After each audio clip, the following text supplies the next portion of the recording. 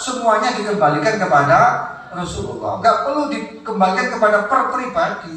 Memang ustaz kiai itu harus kita taat karena guru di guru dan di. Jadi kita taat kepada beliau. Cuma taatnya harus dilihat dulu. Mursyidnya itu dilihat dulu. Kalau ada kepentingan, ya ditaruh di sini dulu. Tetap dihormat tapi dipikir dulu. Kamu jangan asal ikut-ikutan saja. Karena kepentingan kita adalah menjaga warasatul anbiya, menjaga apa yang diwaruskan oleh Nabi kepada kita supaya kita tetap bersatu. Bisa enggak itu kira-kira sekarang kita begitu? Lupakan semua organisasi, lupakan semua faham, madhab. Kita satu kepada Rasulullah Sallallahu Alaihi Wasallam. Kalau kita bisa begitu, barulah kita bisa bersatu. Kenapa? Dinikmati itu loh tadi nikmati ikhwana karena nikmat Rasulullah jadilah kita ber, bersaudara. Oke, sekarang ketika Rasulullah wafat, konflik pertama adalah konflik Sakif. Pernah baca sejarahnya Sakif? Apa itu Sakif? Miliknya Bani Sa'ad itu loh. Wah, kamu coba sampai sirah nabawi begini loh sejarah aswaja sing ini ki aswaja sing gablek yo ngene gak tepat. Harus baca. Peristiwa sakit di saat Rasulullah wafat orang-orang Ansor Madinah mengangkat Sa'ad bin Abi Waqqas sebagai khalifah pengganti Rasulullah. Begitu Sayyidina Abu Bakar mendengar Loh, kok berani ya Ansor langsung mengangkat maka Sayyidina Umar dan Sayyidina Abu Bakar langsung lari ke gedung Sakif. Di sana sedang rapat mengangkat Sa'ad bin Abi sebagai khalifah. Lalu dibatalkan oleh Sayyidina Abu Bakar. Kita harus musyawarah, wasyawirhum fil amri. Fa idza zalta 'ala Allah. Jangan hanya orang Ansar saja yang bermusyawarah, harus dengan orang Muhajirin juga. Nah, di sinilah akhirnya terjadi perdebatan. Akhirnya rapat-rapat selesai, kemudian Sayyidina Abu Bakar memegang tangannya Umar bin Khattab. Aku angkat Umar sebagai khalifah pengganti pengganti Rasulullah. Karena Umar, Umar memang mumpuni orangnya. Orangnya ahli ekonomi, ahli strategi perang, juga kaya, juga jenius, juga ahli firasat. Tapi Sayyidina Umar punya rasa tawadhu. Sayyidina Abu, eh, Abu Bakar, engkau lebih tua dari aku engkau lebih pantas. Maka Abu Bakar diangkat. Saya angkat sudah Abu Bakar sebagai khalifah. Akhirnya semua hadirin setuju karena mereka tahu kedekatan Sayyidina Abu Bakar dengan Rasulullah Sallallahu Alaihi Wasallam. Selesailah masalah. Akhirnya ini cerita, isinya cerita tok ini ya, cerita semua. Tapi tolong nanti dikaji ya, tolong dipelajari sirah Nabawiyah dan sirah ashab, rijal ashabin Nabi Rijal Sahabat. Di sana ada cerita-cerita yang bisa kita pelajari. Kemudian setelah itu Sayyidina Abu Bakar menjadi khalifah, selesai tidak ada masalah. Kemudian Sayyidina Abu Bakar mengangkat Sayyidina Umar, selesai tidak ada masalah. Kemudian Sayyidina Umar berwasiat, Utsman nanti menggantikan saya, selesai tidak ada masalah. Di akhir masa khilafah Utsmaniyah, oh khilafah Sayyidina Utsman di situlah mulai muncul uh, apa itu fitnah-fitnah yang luar biasa. Karena negara-negara Islam sudah meluas uh, hampir dua per tiga dunia. Dakwah Islam menyebar ke sana. Salah satu di antaranya adalah Kaisar Romawi dan juga Kisro yang ada di Persia tunduk pada Islam, ditaklukkan oleh Islam. Sehingga mereka banyak yang masuk Islam. Nah, di situlah muncul orang-orang yang berusaha mengacaukan Islam. Maka tidak sedikit yang dari Persia, dari Iran itu berdatangan ke Mekah Madinah untuk mengacaukan Islam. Menimbulkan fitnah. Sampai akhirnya terbunuhlah Sayyidina Utsman radhiyallahu. Sayyidina Umar terbunuh dan, dan saat itu dijaga oleh Sayyidina Hasan, Sayyidina Husain dan umat-umat Islam yang lain. tapi ternyata di dalam ada orang yang menyusup. Akhirnya Sayyidina Utsman ter terbunuh. Di saat itu Sayyidina Utsman adalah dari Bani Umayyah. Maka Bani Umayyah tidak rela dengan terbunuhnya Sayyidina Utsman ini. Untuk kebijaksanaan Sayyidina Ali diangkat jadi khalifah penggantinya Sayyidina Utsman dan Bani Umayyah satu tuntutan kalau ahli jadi khalifah, saya setuju dengan syarat harus bisa mengusut tuntas siapa pembunuh Utsman bin Affan. Ini pekerjaan mudah apa tidak? Ya tentu tidak, tidak mudah karena mencari melacak siapa pelakunya. Kalau tidak bisa menemukan, maka Muawiyah dibaiat sebagai khalifah pengganti dari Bani Umayyah. Nah, di sini mulai muncul uh, perselisihan antara Sayyidina Ali dengan Bani Umayyah.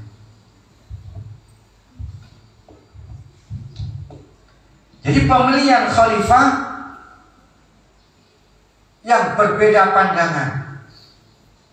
Mereka ada yang disusupi kepentingan, ada yang tulus karena agama. Sayyidina Ali memang orang yang ilmunya sangat tinggi pada saat itu lebih tepat menjadi khalifah pada saat itu. Sehingga beliau 10 tahun lebih dia menjadi khalifah untuk menyelamatkan umat Islam. Tapi karena tuntutan dari Bani Umayyah yang seperti itu sampai terjadi perang sifil ya, perang sifil antara Sayyidina Ali dengan Muawiyah dan orang-orang yang eh, menuntut kepada Sayyidina Ali. Sampai diseret juga Sayyidah Aisyah ya, diseret juga dalam peperangan sehingga terjadilah perang Jamal. Sahabat Talha, sahabat Zubair, ya akhirnya banyaklah. Memang pengaruh dari dunia luar yang berdatangan ke situ ya umpama ada medsos kayak sekarang lebih kacau lagi ya. Macam-macam masalah alzan sampai gonggongan anjing ya dibesar-besarkan terus padahal tidak fakta ya dah besar-besarkan terus nah, pada masa itu pun begitu apalagi yang namanya Ibnu Sabah Pernah baca sejarah Ibnu Sabah? Yahudi yang pura-pura masuk Islam yang akhirnya mengacaukan umat Islam sampai terbunuhnya Sayyidina Ali. Ya, siapa yang membunuh? Ibnu Ibnu Muljam. Ibnu Muljam hafal Quran ini orang hafal Quran, tapi dia menentang Sayyidina Ali dan menganggap Sayyidina Ali itu tidak sesuai dengan Al-Quran lalu dibunuh Sayyidina Ali. Itu loh. Dengan orang Islam tidak boleh begitu. Nabi itu bersabda, Nek umatku ini berpendapat salah dapat pahala satu. Nek berpendapat benar dapat pahala dua. Untuk menghindari jangan saling menyalahkan, jangan saling bermusuhan, jangan saling membunuh begitu. Lalu sekarang titik-titik kafir, titik-titik bid'ah, gak cocok dengan sabdanya Nabi Muhammad Sallallahu Alaihi Padahal dia mengajak kembali kepada sunnah, ya dah. Nah, begitu. Jadi kita jangan mudah menyalahkan orang lain. Selama orang itu punya dasar, punya landasan, punya pendapat dari Quran hadis, salah itu mesti dapat pahala satu. Jadi nggak usah kita menyalahkan. Yang penting diri kita. Itu awal daripada terjadinya perbedaan pendapat. Sejak peristiwa terbunuhnya Khalifah Utsman, perbedaan pendapat mulai meruncing dan ditunggangi kepentingan politik. Saya sampai saya Sayyidina Amr ibn al-As itu kan dari Bani Umayyah mendukung Muawiyah. Lah, ada sahabat Abu Hurairah, sahabat Abu Musa al-Ash'ari ini mendukung Sayyidina Ali. Lalu terjadilah uh, perundingan, jangan sampai terjadi peperangan. Terjadilah perundingan damai sehingga terima orang yang mengaku mendukung Sayyidina Ali ternyata dia itu bukan tulus mendukung Sayyidina Ali maka terjadilah kelompok Khawarij nah, kemudian pendukung Sayyidina Ali getol mati-matian mendukung Sayyidina Ali lalu menamakan diri sebagai Syiatu Ali Syiahnya Sayyidina Ali. Syiahnya Sayyidina Ali ini sunnah. Tapi Syiah yang sekarang ini Syiah Imamiyah. Ya, bukan Syiah atau Ali. Ya, itu Syiah Imamiyah yang perlu kita ketahui. Nah, itu yang mengatakan bahwa Sayyidina Abu Bakar dan Umar itu bersekongkol untuk mengangkat jadi khalifah setelah Rasulullah wafat. Padahal Rasulullah sudah bersabda, nanti man kana man kuntu maulahu fa'ali maulahu. Barang siapa mengakui aku sebagai pemimpinnya, maka Ali adalah pemimpinnya.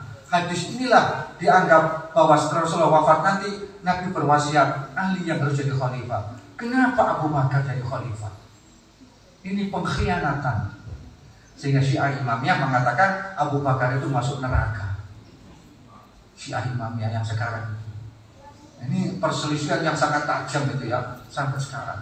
Umar finnar Sampai syahadatnya orang Syiah imamnya itu asyhadu an la ilaha illallah asyhadu anna Muhammad Rasulullah wa anna Ali waliullah wa anna Abu Bakar finnar wa anna Umar finnar wa anna Aisyah finnar sampai seperti itu.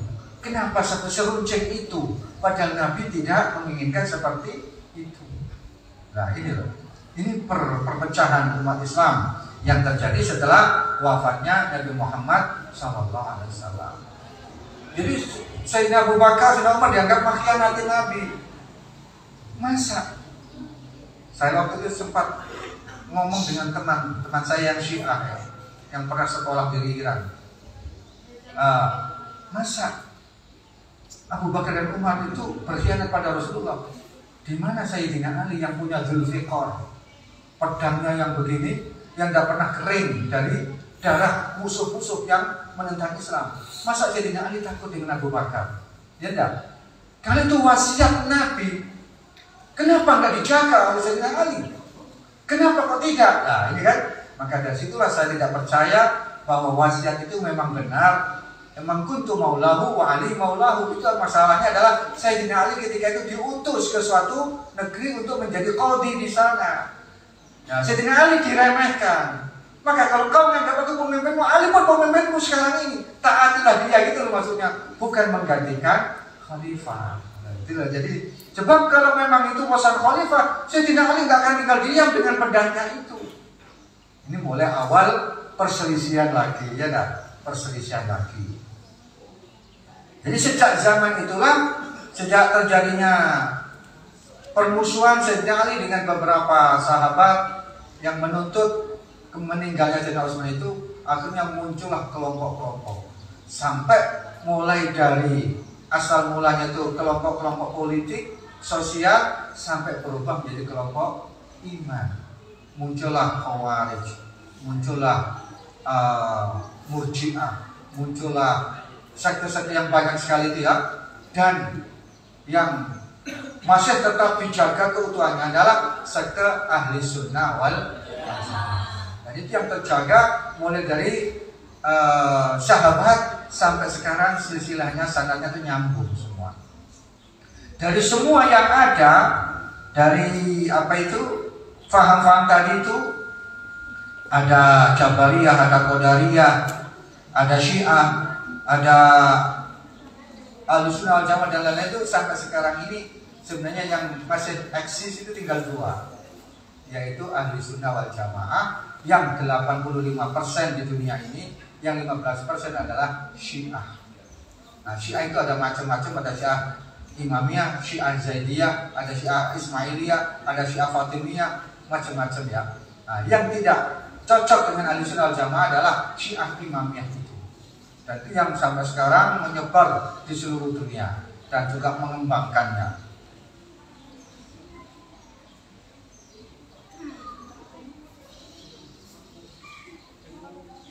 Kemudian perselisihan yang semakin meruncing itu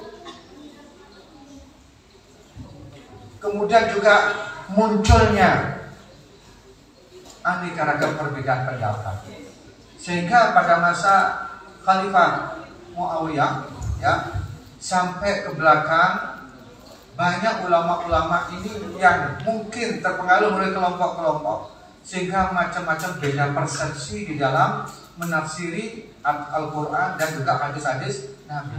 Berbagai macam uh, persepsi di dalam menentukan fikih, ya. Jadi menjadi kacau balau. Perbedaan pendapat mulai dari fikih sampai akidah. macam-macam pendapat yang muncul itu menambah runcingnya perselisihan di antara umat Islam. Nah, maka dari itulah mulai tampak kemerosotan umat Islam.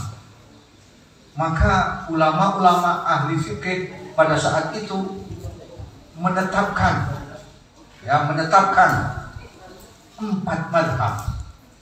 Ulama yang diakui adalah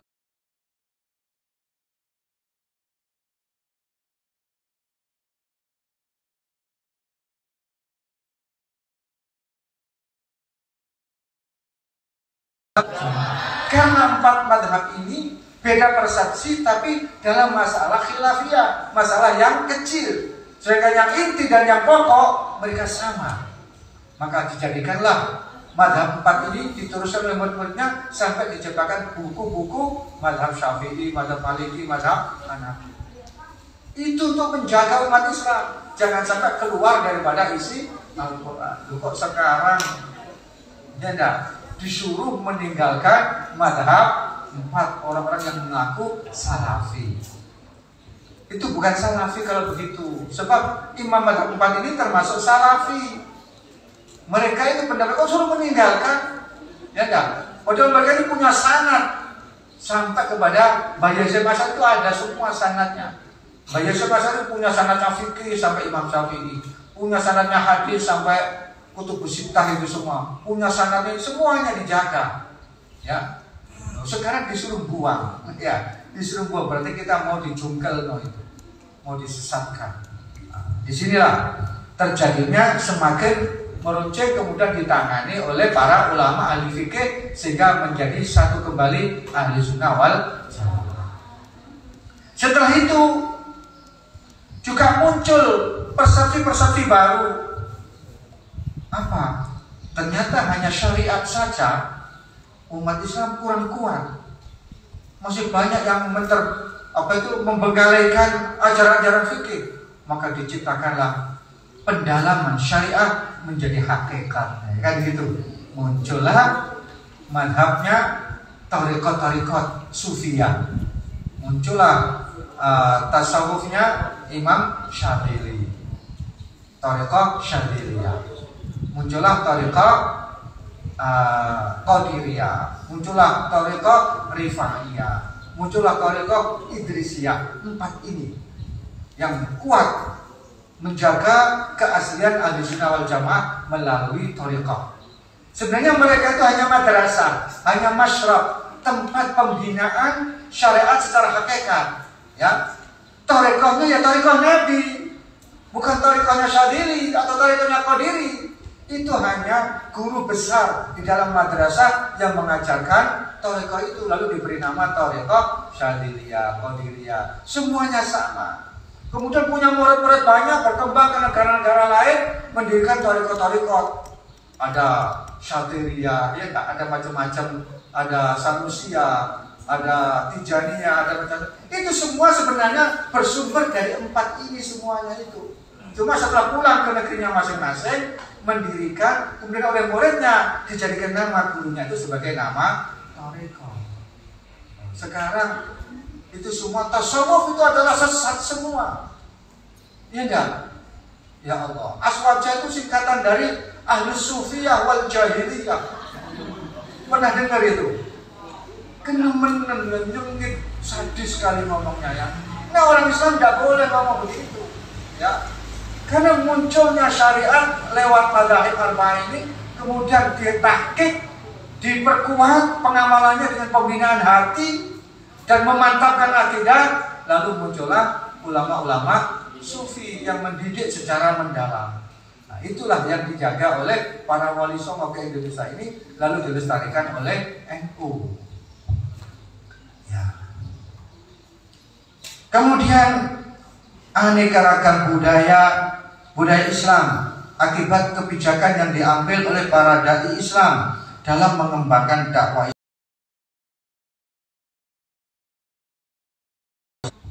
dengan menyebarnya Islam ke seluruh dunia maka para dai pada saat itu yang yang berfikrah uh, ahli sunnah wal jamaah mengajarkan ibadah, mengajarkan amaliyah Islam, mengajarkan dakwah Islam dengan mengislamkan tradisi yang ada.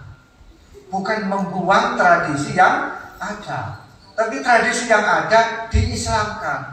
Maka tiap-tiap negara muncullah tradisi-tradisi Islam yang berbeda-beda yang semuanya isinya bersumber dari ajaran Nabi Muhammad Sallallahu Alaihi Wasallam. Lalu tradisi-tradisi itu sekarang dibilang bed jadi permusuhan lagi. Memang orang-orang yang suka menghidupkan permusuhan itu sebenarnya adalah musuhnya Islam itu. Karena Islam itu tidak begitu. Islam itu mengajak bersatu. Nabi kita Nabi Muhammad Makanya kita harus kembali pada sunnah Nabi. Bagaimana cara kembalinya? Kembali pada sunnah Nabi, tinggalkan madhab, tinggalkan sufi-sufi itu. Bagaimana kembalinya kepada Nabi? Kamu hidup di zaman siapa? Ya, Kalau zaman Nabi, anak tanya kepada Nabi langsung. Kalau sekarang, kamu kembali pada sunnah itu kembali ke mana? Kepada kitab, kitab sunnah. Siapa yang nulis? Nah, ya dah. Berarti kamu kembali kepada penulis kita bukan kembali kepada Rasulullah. Kalau penulisnya beda pendapat, penulisnya Al Albani, ya dah, itu kan ulama mereka. Penulisnya Muhammad bin Abdul Wahab. Albani dengan dengan Muhammad bin Wahab jaraknya berapa tahun? Abdul Wahab mengikuti banyak pendapatnya Ibnu Taimiyah. Abdul Wahab dan Ibnu Taimiyah itu jaraknya 200 tahun tidak pernah ketemu. Bagaimana sangatnya nyambung? Ibnu Taimiyah sendiri dia berpikir bebas sehingga banyak pikiran-pikirannya yang kontras. Sehingga ulama pada empat pada saat itu memutuskan Ibnu Taimiyah harus ditangkap. Akhirnya ditangkap dan dipenjarakan oleh penguasa pada saat itu. Akhirnya Ibnu Taimiyah bertaubat dan mengikut tarikat Syadziliyah. Akhirnya dia wafat dalam keadaan sufi sebenarnya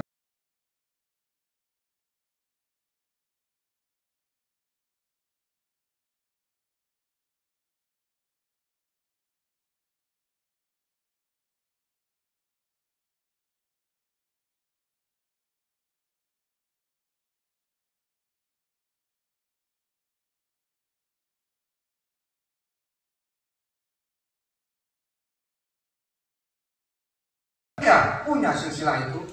Tidak punya. Maka di sinilah 85% akhirnya dunia tetap memegang ahli sunnah wal jamaah. Oke. Contoh, nisfu Sya'ban ya, sebentar lagi kita nisfu Sya'ban ya, kemis depan itu ya. Itu nisfu Sya'ban, tidak ada hadisnya itu. Itu bid'ah. Padahal hadisnya jelas dan sahih. Cuma tidak seperti ini susah yang kita lakukan. Hanya hadis Nabi mengatakan bahwa di malam nisfu Sa'ban Allah mengumumkan barang siapa yang beribadah di malam itu aku ampuni dosa-dosanya. Aku berikan kelapangan hidupnya. Aku pokoknya Allah umumkan di malam nisfu Sa'ban. Itu hadis Nabi itu begitu bunyinya. Lalu prakteknya ini yang sesuai dengan daerahnya masing-masing. Di Makkah di Madinah Malam nisfu Syaban mereka hanya banyak bangun, sholat, zikir, baca uh, Al-Quran, baca sholawat. Tapi di Syam lain. Di Syam. Syam itu sekarang menjadi empat negara ya. Ada Lebanon, Syria, uh, kemudian negara-negara sekitar itulah. Itu dulu namanya satu, yaitu negara Syam. Di masa di masa tabiin di Syam itu mengadakan isu saban dengan mengadakan perayaan rame-rame. Ya, mereka pakai baju jubah putih, sorban putih, pokoknya kayak gaya Rasulullah lah. Kemudian melakukan zikir bersama, sholat sunnah berjamaah, kemudian membaca doa-doa, ya nah. Itu yang mereka dilakukan di Syam, di Madinah, di Makkah seperti itu. Kenapa Syam begitu? Karena di sana lingkungannya banyak penjajah-penjajah Romawi yang beragama non-Muslim. Akhirnya syiar Islam perlu ditampakkan. Pakai surban putih, jubah putih. Kayak Rasulullah begitu kemudian berkumpul. Kemudian syiarnya dibesarkan di sana. Kemudian perayaan, kemudian baca. Nah, ini dibilang bid'ah. Memang di zaman Nabi tidak seperti itu. Tapi isinya kan tidak tidak keluar dari apa yang diajarkan oleh Nabi. Lah ini akhirnya menimbulkan suatu perbedaan pendapat. Di Indonesia, ini susah banget lain lagi ya kan? Lain lagi. Kemudian ada banyak tradisi di Indonesia yang diislamkan. Contoh tahlilan tujuh hari, ya enggak? Karena tradisi rakyat Jawa pada saat itu yang masih banyak memegang tradisi Hindu, ini ada orang mati, mereka tujuh hari melean karena takut ada jerangkong. Tahu jerangkong? Jerangkong itu yang mati itu hidup ngetok-ngetok rumah. Jadi ada tangga mati semua pada ketakutan. Sampai sekarang itu masih ada seperti itu rasa takut. Padahal itu sebenarnya jin yang muncul itu. Jin, jin korin, ya yang semasa hidupnya dia ada di dalam mayat itu. Jadi dia bisa menirukan persis logatnya, suaranya, wajahnya dirubah persis. Lalu ngetok pintu orang melihat, lu Pak Waluyo, orang mana? Lalu ketakutan. Dan itu menyebar seluruh kampung. Menghadapi semacam itu yang dilakukan oleh para dai Islam. Lalu tetap diadakan melayan tujuh hari tapi yang dibaca adalah zikir-zikir yang diajarkan oleh Nabi Muhammad Shallallahu Alaihi Wasallam itu akhirnya jin-jin itu yang menjadi cerangkau itu nggak berani muncul karena kena zikir. Ada ayat kursi ada surat Baqarah. Akhirnya pada terbakar semua lari. Nggak ada apa-apa. Lalu yang hidup berpikir lagi ini yang hidup bisa diselamatkan. Bagaimana dengan yang mati? Nah, akhirnya berpikir kalau gitu yang mati juga harus kita doakan. Maka akhirnya disusullah kalimat-kalimat uh, tahlil yang isinya memohon ampun kepada Allah untuk mayat-mayat yang sudah meninggal dan kirim doa. Nah, ternyata memang pada saat itu Sunan Ampel yang tidak setuju. Wali-wali yang lain setuju karena dalilnya jelas. Al-Quran ataupun hadis-hadis yang menerangkan bahwa kirim doa itu sampai pahala itu jelas. Tapi Sunan Ampel tidak setuju karena apa? Takut bukankah ini bid'ah. Rasulullah tidak pernah melakukan ini, ya enggak? Akhirnya lama-lama Sunan Ampel berpikir bahwa untuk mengislamkan tradisi ini akhirnya beliau setuju bukan menolak itu yang sekarang dibesar-besarkan Sunan Ampel pun tidak setuju dengan tahlil kenapa tahlil masih tetap dihidupkan tidak tahu sejarah berikutnya. Sunan Ampel akhirnya juga setuju. Dan doa-doa yang ada dalam tahlil itu ternyata saya teliti yang berdoa itu ada riwayat hadisnya. Kenapa baca ini? Kenapa baca ini? Itu semua ada. Diambil dari Al-Quran dan hadis-hadis Nabi. Jadi nggak ngawur.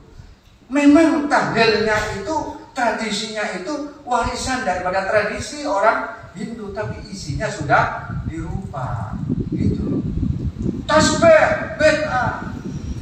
Tasbih bid'ah. Ya enggak sekarang itu? Gak usah. Padahal sahabat Abu Hurairah pakai tasbih.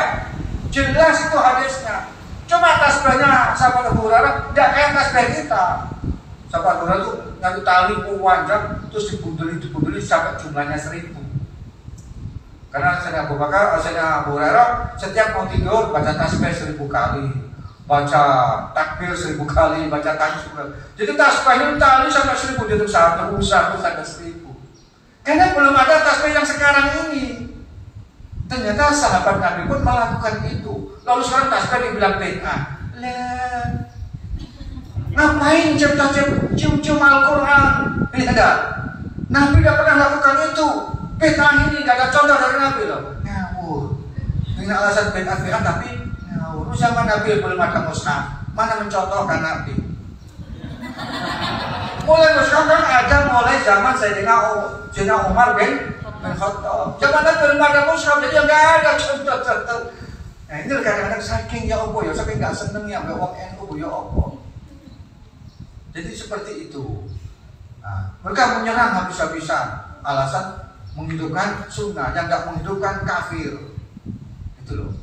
Jadi di sinilah kita harus paham bahwa para dai yang keluar negeri semuanya uh, apa itu mengambil firman Allah udhu ila sabilillahi bil hikmati wal mau'izatil hasanah. Harus bijaksana. Jangan langsung dihapus gitu aja. Dan akhirnya banyak orang-orang Jawa ini yang memegang tradisi itu pada masuk Islam semua. Dan tradisinya diislamkan.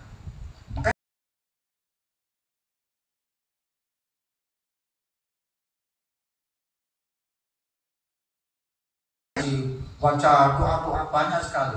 Malah yang saya kagum itu waktu baca Yasin, Bismillahirrahmanirrahim. Yasin. Allahumma sholli alaihi.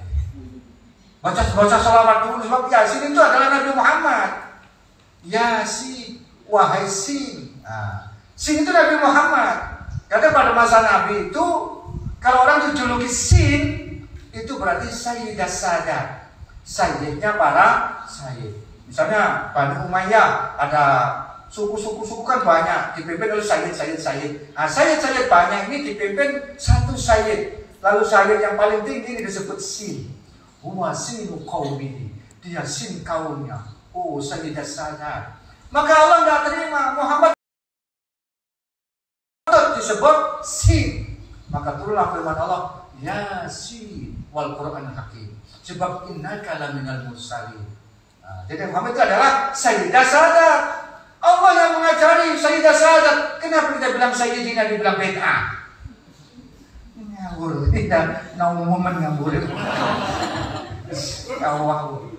Ayat yang lain loh, Nabi Allah berfirman, Qul ya ibadiyalladzina asrafu ala anfusihim. Qul katakan wahai Muhammad, ya ibadi wahai hamba-hambaku. Kenapa Allah berfirman begitu? Kok kul ya ibadallah. Muhammad katakan wahai hamba-hamba Allah. Kenapa Allah menyuruh kul ya ibadi? Katakan Muhammad wahai hamba-hambaku. Kita ini hambanya Nabi Muhammad. Makanya kita memanggil Sayyid kepada Nabi Muhammad. Karena kita nunggu hambanya Nabi. Bukan hamba dengan penyembah. Hamba penyembah bukan. Hamba sebagai binaan wali. Ayah kita wali. Dan saya adalah hambanya bapak saya. Jadi hubungannya adalah umat dengan pemberi syafaat. Nabi wali, Nabi adalah penolong kita. Nah, di situlah maka Nabi Muhammad patut kita sebut Sayyid loh. Uh, kenapa gak dibahas? Memang mereka tidak senang Nabi Muhammad dibesar-besarkan. Karena apa? Kalau kita mengaku-ngakukan Nabi Muhammad, iman kita tambah mantap. Sengaja kita dijauhkan, gak perlu membesar-besarkan Muhammad. Solawat itu cukup Allah Subhanahu Muhammad. Gak ada pakai solawat ashril, ada solawat macam-macam solawat ini. Nah, itu semuanya berusaha menjauhkan kita dari Nabi Muhammad SAW. Sebab kalau kita dekat dengan Nabi Muhammad, apa yang terjadi? Fadkuru ni'matallahi id kuntum a'da'at fa'alafa baina qulubikum fasfahtu bi Karena kita mengadakan maulid bersama, mencintai Nabi, rasanya hati ini satu. Ya enggak? Karena di bawah Nabi Muhammad SAW. Mereka tidak ingin itu. Ya, jadi kita jangan terpengaruh dengan pemikiran-pemikiran yang memecah belah umat Islam yang sudah bersatu. Uh, kemudian muncul sekarang ini ide-ide baru. Harus mendirikan negara Islam. Nek Gus Dur berpendapat, udah nggak mungkin sekarang mendirikan negara Islam. Sekarang loh Indonesia, NU, Muhammadiyah, HTI bersatu mendirikan negara Islam Engkau nek wis berdiri negara sama perang. Sopo presiden? NU mu. Muhammadiyah mu. HTI mu. Tanpa perang iya enggak? Jadi koyok-koyok gak mungkin sekarang ini mendirikan negara Islam. Yang perlu adalah mengislamkan rakyat. Yang penting adalah bagaimana Islam itu merakyat. Jangan mengkafirkan yang sudah Islam. Jangan mengkafirkan yang sudah Islam, tapi membumikan Islam, rakyatnya Islam. Tapi kan membuat negara Islam belum lagi nanti kalau berdiri negara Islam langsung dicur oleh negara-negara superpower. Ada enggak itu yang terjadi? Buahnya. Berusaha mendirikan negara Islam baru berdiri dicur karena senjata kita kalah. Nah itu pemikiran Gus jadi nggak mungkin kayaknya kita mendirikan negara Islam. Sekarang itu bagaimana caranya mengislamkan rakyat. Kalau Iramnya rakyat sudah kuat betul, akan dengan sendirinya terbentuk negara Islam. Lihat Afghanistan itu, ya enggak? Begitu rakyatnya sudah Islam kuat semua, Sekarang muncul apa yang terjadi? Nah, berdirilah negara Afghanistan yang yang Islami begitu. Jadi tidak usah digembur-gemburkan terus menyalahkan umat Islam yang lain. Malah akhirnya nggak jadi nggak jadi rukun, malah terjadi perbedaan pendapat yang macam-macam. Ditambah lagi provokator-provokator sekarang ini lewat medsos dicari celah-celah ada masalah kecil dibesar-besarkan adu domba tambah kacau bangsa di dunia nah, maka dengan munculnya provokator-provokator yang sebenarnya mereka itu bukan orang Islam tapi menggunakan mulut dan tangan orang Islam untuk merusak orang Islam sendiri kita sadar maka fazkuru ni'matallah ayo kita kembali cukup Rasulullah sebagai zaim ya kita semua mengacu kepada Nabi Muhammad Sallallahu Alaihi Wasallam. Karena Nabi Muhammad tetap berperan sampai hari kiamat. Nabi Muhammad Nabi, Nabi kita. Tidak ada Nabi selain Nabi Muhammad setelah setelah beliau. Kalau kita tidak mengakui Nabi Muhammad, maka kita umat yang terlantar. Maka mari kita berusaha bersatu dengan berpegang teguh. Waktasimu bihamdillahi jami'ah berpegang teguhlah kamu dengan tali Allah. Selama ini tali Allah apa tafsirannya? Tali Allah itu ya Al-Quran, Islam, bukan. Ternyata kalau kita tali Allah itu adalah Al-Quran, lu kita kalau menafsir Al-Quran beda-beda, ya dah. Tambah tukaran. Islam, Islam pun juga beda-beda. Tidak Islam Sunnah Jamaah, ada Islam Syiah, ada Islam macam-macam. Tapi Alhamdulillah itu adalah Rasulullah. Berpegang teguhlah kamu dengan Rasulullah. Maka itulah para ulama dulu untuk menyatukan umat Islam itu mengadakan maulid Nabi. Siapa yang pertama kali mengadakan maulid Nabi? Ada yang mengatakan mula, ada yang mengatakan uh, Salahuddin Al Ayyubi, ya Yang pertama kali mengadakan peringatan maulid Nabi, ya Nabi sendiri. Ketika beliau puasa hari Senin ditanya kenapa Rasulullah puasa Senin? Saat ini adalah hari kelahiran saya. Berarti Nabi memperingati maulid maulidnya dengan cara berpuasa. Dan para sahabat setelah wafatnya Rasulullah itu menurut seorang sejarawan dari Tunisia menulis bahwa para sahabat mengadakan peringatan maulid Nabi di rumah tempat kelahiran Nabi di Mekah. Itu setelah wafatnya Rasulullah, para sahabat mengadakan di sana baca-baca zikir, baca solawat, baca macam-macam, menceritakan sejarah Nabi. Lalu dilanjutkan tabiin, tabiin, tabiin sampai sekarang ini. Jadi peringatan Maulid Nabi itu sudah ada sejak Nabi, jangan dibilang bid'ah. Wah, dibilang bid'ah. Mana dalilnya? Ya dalil secara langsung mengadakan peringatan Nabi dengan banjari, gak ada. Itu kan cara, ya dah cara. Tiap-tiap negara berbeda cara memperingati Maulid Nah, tetapi intinya satu yaitu mengikatkan diri kita dengan Rasulullah. Itu namanya irtibat bisaksin dari. Kita mengikatkan diri kita kepada Rasulullah kayak bunga matahari itu loh. Matahari ke mana kan mengikut terus dia. Nah, kita itu begitu. Melihat Rasulullah itu bagaimana saya bisa membina diri saya supaya kayak Rasulullah. Jadi jalan keluarnya sekarang biar kita tidak terjadi pecah belah terus satu harus kembali kepada irtibat kepada Rasulullah. Semuanya kita mencontoh Rasulullah.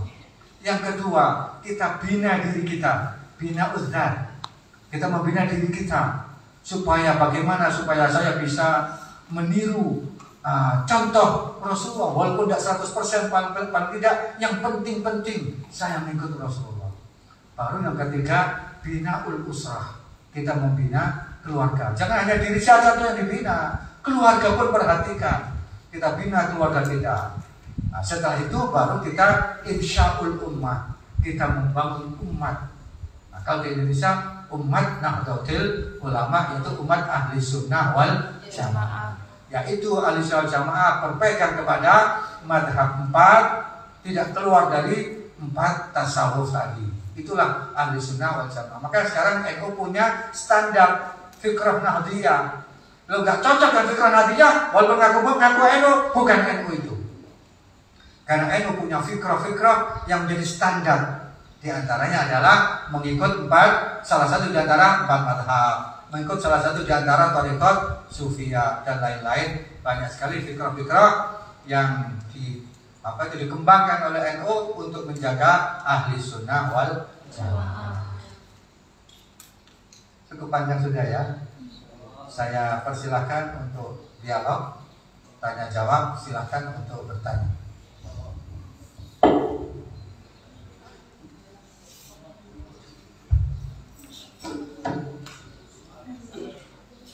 Dipersilakan kepada peserta diskusi ilmiah untuk bertanya. Monggo. Maju saja.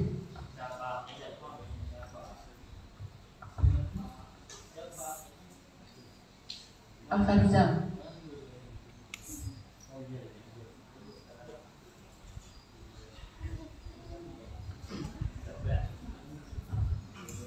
Semuanya bertanya ya jangan pasrah pada yang lain. Apa yang berundel di hati sampaikan semua. Walaupun kecil kamu diketawain jangan diketawain itu ketawa gitu aja.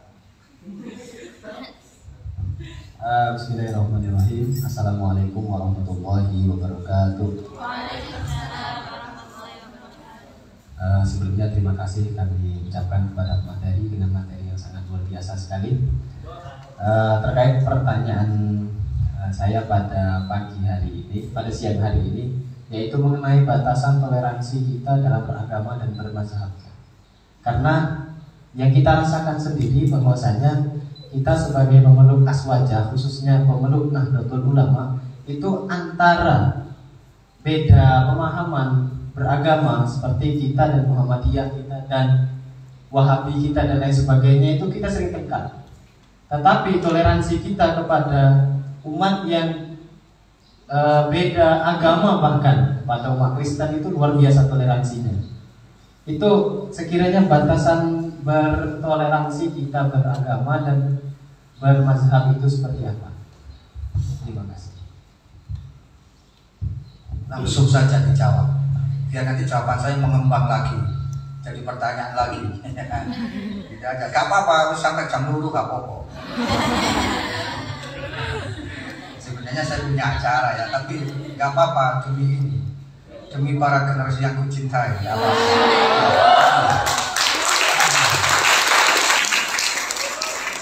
Di dalam itu kan mengatakan nama apa itu empat ada toleransi empat itu ada tawasud ya apalagi ada tawazun ada lagi tasamuh ada lagi ta'adul apa itu artinya?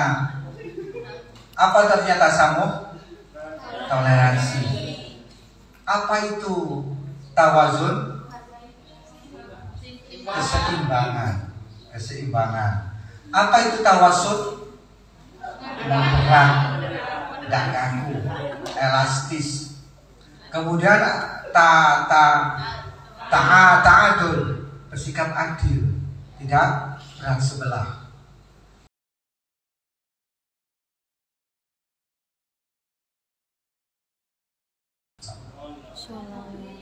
Sakjane sing paling pokok lah ini sing paling nemen itu. Eh, oh, iku toleransi kenemenan sampai gereja di Joko lah sih. Itu yang dibesar-besarkan. Ngapain? Tugas Banser itu menjaga ulama, kok malah-malah jaga gereja? Kayak tok gak senengnya PNU ya. Nes ngomongin mulai gue kayak tok gak seneng PNU. Semua yang diciptakan PNU itu berdasar pada hadis Nabi. Nah, kalau saya menyebut satu-satu, tawasul itu dalilnya mana? perlu waktu saya untuk menyediakannya. Yang jelas tanya ada KNU ada semua dalilnya itu. Mencontoh Nabi Muhammad Sallallahu Alaihi Wasallam. Bayangkan Nabi Muhammad itu orang-orang non Muslim yang ada di Madinah, mereka diberi perlindungan oleh Nabi karena mereka minoritas. Ini namanya kafir zimmi. Yang boleh tidak boleh dilindungi itu adalah yang kafir harbi, kafir yang menyerang kita. Pernah dengar cerita Nabi Muhammad menyuapi orang Yahudi yang buta itu kan? Seperti itu Rasulullah. Masya Allah perhatiannya kasih sayangnya tinggi. Maka kalau ingin jadi wali, kalian harus punya kasih sayang yang tinggi seperti Rasulullah. Ciri khas seorang wali itu adalah hatinya penuh kasih sayang, tidak ada kebencian dengan apa pun. Sampai Kalau ceritanya Sunan Giri itu ya kepreset pegang pohon, pohonnya jebol. Apa itu oyotnya? Nangis. Ya Allah, aku membunuh pohon ini. Lalu pohon itu ditanam lagi supaya hidup. Sampai segitu kasih sayangnya. Apalagi yang bernyawa. Gak main bunuh, main tembak seenaknya sendiri. Ya, lah kenapa? Anset kok toleransinya sampai koyo ngono Joko gereja. Iku dalbul mafasid wa jalbul masalih. Kaidah usul. Sebab sudah nampak gejala-gejala orang-orang Islam yang radikal itu mau mengebom gereja. Kalau sampai terjadi betul, nanti yang punya problem besar umat Islam sendiri. Contoh, zaman khilafah, zaman pemerintahan Fatimiyah Syiah yang ada di berpusat di Kairo Al Azhar itu. Itu dengan orang-orang non Muslim yang ada di sekitar Mesir, di negara-negara Islam, itu sikapnya tidak toleran sama sekali. Akhirnya mereka banyak yang dibunuh. Maka marahlah orang-orang Nasrani yang dari Timur Tengah, eh, yang dari Eropa. Mereka datang setiap hari, setiap hari membawa 70 kapal berisi tentara. Datang ke Timur Tengah. Akhirnya terjadilah perang salib. Yang umat Islam satu harus menghadapi 400 tentara. Perbandingannya. Ayo, kalau bisa terjadi seperti itu kayak apa? Terjadilah perang salib. Maka di sana terjadi pertumpahan darah, lalu muncullah penyakit yang pertama kali yang disebut smallpox. Penyakit apa itu? Cacar. Karena darah di mana-mana. Akhirnya orang-orang Eropa yang menjadi tentara itu diazab Allah dengan kena penyakit smallpox semua. Maka orang Eropa mengatakan penyakit smallpox adalah penyakit-penyakit yang datang dari Timur Tengah. Cacar yang merusak disfigure, merusak apa kulit manusia itu ya. Nah, itu. Nah, itu dikarenakan begitu. Lah orang NU ingin itu jangan sampai terjadi. Maka yang akan datang untuk membuat penyebab masalah ini dan mafasid dicegah. Jangan sampai terjadi. Kalau sekarang ada kereta, wantung, terus di situ ada orang nggak dengar karena sudah tua. Neta jatuh itu tak angkat, sudah ketabrak. Apa yang harus dilakukan? Langsung jejak, diam, langsung gelundung. Selamat nggak dia? Selamat. Caranya sadis sekali. Orang sudah tua ditendang, ya dah. Koyok-koyok sadis, ya dah. Itu bukan menjaga gereja, tapi menjaga umat Islam jangan sampai melakukan kesalahan sehingga menimbulkan akibat yang sangat besar. Ngono Jadi niatnya di hati ngono ora niat wong. Sing ngarani jaga gereja iku wong sing katene ngepon, terhalang terus muring-muring. Aslinya begitu aslinya. Wis paham ya? Jadi tasamuhnya orang NU itu bukan ngawur, tapi di sana ada untuk maslahat Islam dan umat Islam. Contohnya Gus Dur ya enggak? Orang Cina di sini agama Konghucu disahkan sebagai negara agama negara. Wah masa toleransi sampai segitu beda? Ternyata punya teknis. Begitu Konghucu disahkan menjadi agama, lalu Gus Dur minta tolong antarkan aku menemui presiden Cina. Sebab umat Islam di Cina tidak boleh pergi haji. Tidak ada izin untuk pergi haji. Begitu Gus Dur datang ke sana, terjadi diplomasi, Lalu orang Cina cerita, ah, Presiden tolong diizinkan Islam di sini untuk pergi haji. Sebab kami Cina di Indonesia pun disahkan agama kami oleh Presiden Abdurrahman Wahid. Akan oh begitu, bagus. Sekarang orang Cina dibebaskan pergi haji ke Timur Tengah, ke, ke Makkah untuk berhaji. Jasa siapa? Gus Dur karena toleransinya itu punya tujuan orang ngawur dan bisa mengatakan menjelek-jelekkan Gus Dur, mesti gak senang ya kan? Mesti bukan ahli sunnah wal jamaah. Sunnah wal jamaah mesti. Apa yang dilakukan NU itu semua tidak tahu. Menteri Agama sekarang ini kasusnya apa? Ada dan menggonggong anjing. Sakjane iku sing paling kena wong NU rek. Langgar sing paling wami ku langgar wong NU. Iya ndak? Autan, Mariana apa? Pujian. Pujian itu bantar-bantaran dia kan. Terus jamaah sing dicelok dan kata-kata kok. Pujian sampai setengah jam. Tonggoku itu. Aku kata dengan imam sampai sawi kata-kata kok. Akhirnya pujian itu sawi gak mari-mari. Mari komat.